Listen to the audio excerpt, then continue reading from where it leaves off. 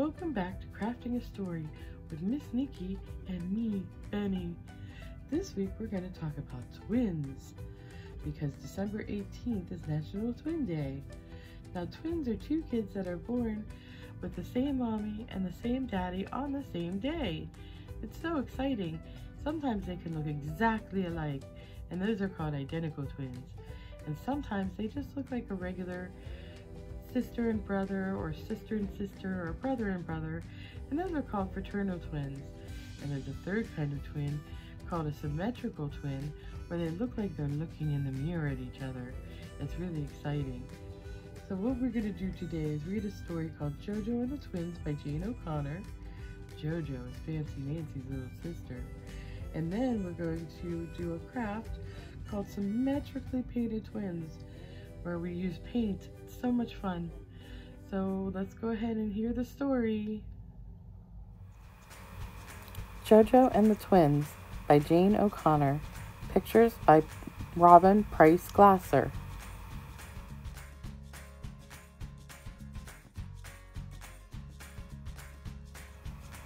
Hi, I'm Jojo, and I'm Nancy's little sister. But now I am a big sister too. See how little my brothers are? Robbie and Teddy are twins. My twins look just the same. Robbie and Teddy cry the same. They burp the same. They even sleep the same. It's easy to mix them up. Is that Robbie? I ask. No, it's Teddy, Daddy says. Teddy has a pink dot on his fanny. Robbie does not. We need a better way to tell the twins apart, Mommy says. So I think hard. I know. I run and get my markers. The twins are asleep. I climb on a chair by the crib. Mommy runs in. Jojo, what are you doing? I will put an R on Robbie's head and a T on Teddy's head. Then we won't mix them up. No, Jojo, Mommy says. We need another way. So I think harder. Maybe stickers, maybe stamps, maybe headbands. What do Mommy and Daddy say? No, no, and no. But you're a good big sister. You love the twins. Yes, I am a good big sister. I sing for the twins. I dance for the twins. I make funny faces for them. But Robbie and Teddy just stare back at me. Then one day, I make lots of silly noises, and the twins smile. Their first smiles ever. Look, look, I made the twins smile, I shout. Their smiles are not the same. Now we can tell the twins apart. It is simple. Robbie has a dimple, Teddy does not. I am a good big sister and a smart one, too. The end. Okay, we're going to do our symmetrical painting here. Um, I have this template on cardstock. It's just two of the same cutout. Um, I got these, again, online. I just um, put them right on Word and that's it. And the only other things you'll need is paint. I went ahead and put it on the tray. I'm just going to go with our um, primary colors. And then I have three paint brushes, one for each color. Um, you can use paint brushes, you can finger paint, you can use cotton ball, whatever you want. Um, but this one actually only works with paint. Um, and what we're gonna do is we're gonna make these look the same. And we're gonna do that by painting only on one half. Um, and to do that, I have this line. Um, these are exactly the same. If you put them together, they will match up perfectly, which means that they are symmetrical.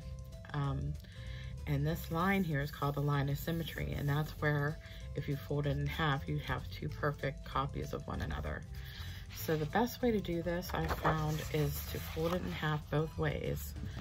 Um, so first we're gonna fold it in half backwards just because then you can see the line better. And I'm folding and you can see it's right along the line. Might not be perfect, but um, for our purposes, it'll look. And then you wanna fold it this way because when it's done, you have to fold it this way to do it. Um, but then I'm just gonna fold it backwards one more time so that I don't accidentally paste the, the other side. And then what we're gonna do is we're gonna take our half of a twin, half of a twin set, I should say, it's one whole twin. Um, and we're just gonna paint it. And um, you wanna make sure you get it nice and a little bit thick so that you can um, transfer it.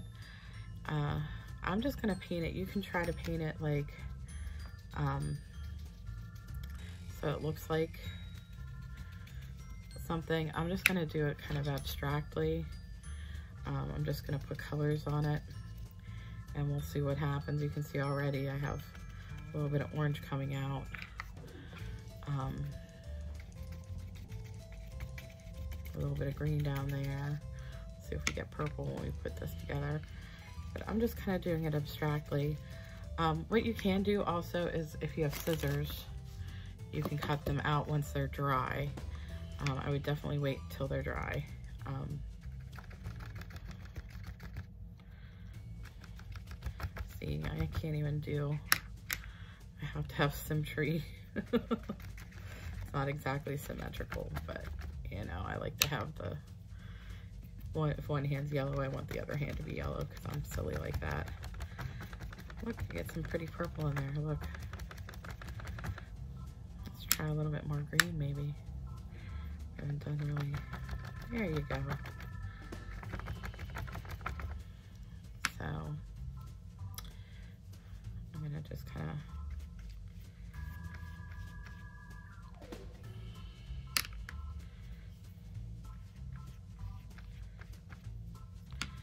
If you get all three colors mixed together, you'll start to get a brown.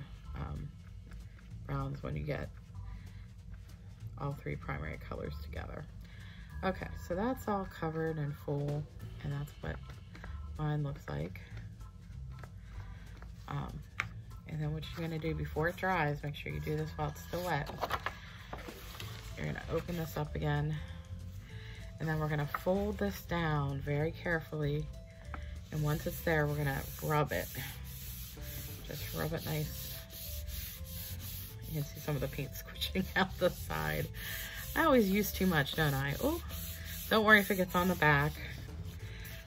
Um, if you cut them out, it's not a big deal. You could even make them into puppets if you put them on like straws or popsicle sticks, craft sticks, whatever. Pencils would work. Okay, so can't let it dry like this because see how it's stuck? So we're gonna very carefully open it up. And look, ah! Now, because I didn't put paint on thick enough, it's not exact, but you can see where it is. Um, very close. I'm gonna let this dry and then I'll cut them out. Um, but if you really wanna see it symmetrical, you would just take one and show it in the mirror. Um, but I kinda like the way the other one turned out. Now this is a good um, method of painting if you wanna paint butterflies too. A lot of people just like kind of like put globs in the middle and then shut it and then spread it out and it looks really cute. So um, my suggestion is for you guys to kind of experiment with um, maybe make this a little bit thicker and see what happens. Experimentation is always a good thing in my opinion.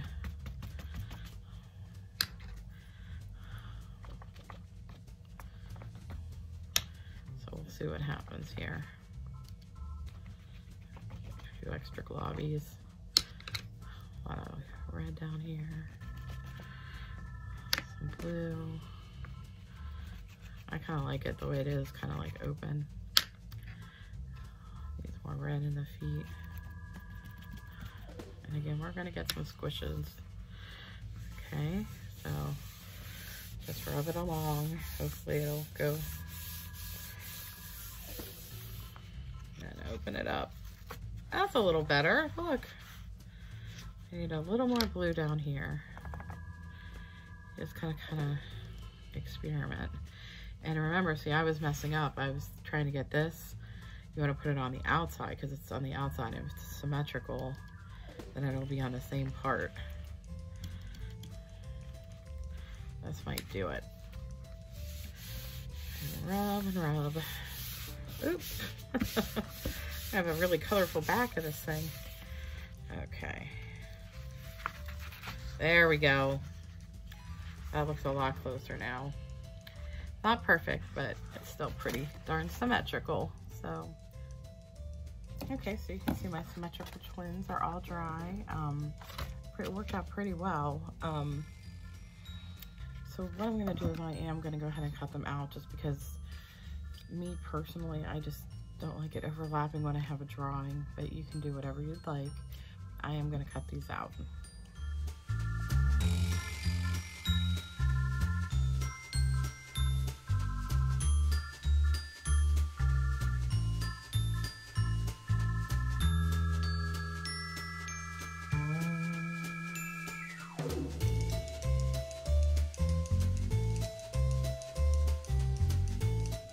Well, I hope you had lots of fun learning about twins today, and I hope you come back for our next Crafting a Story with Miss Nikki and me, Benny.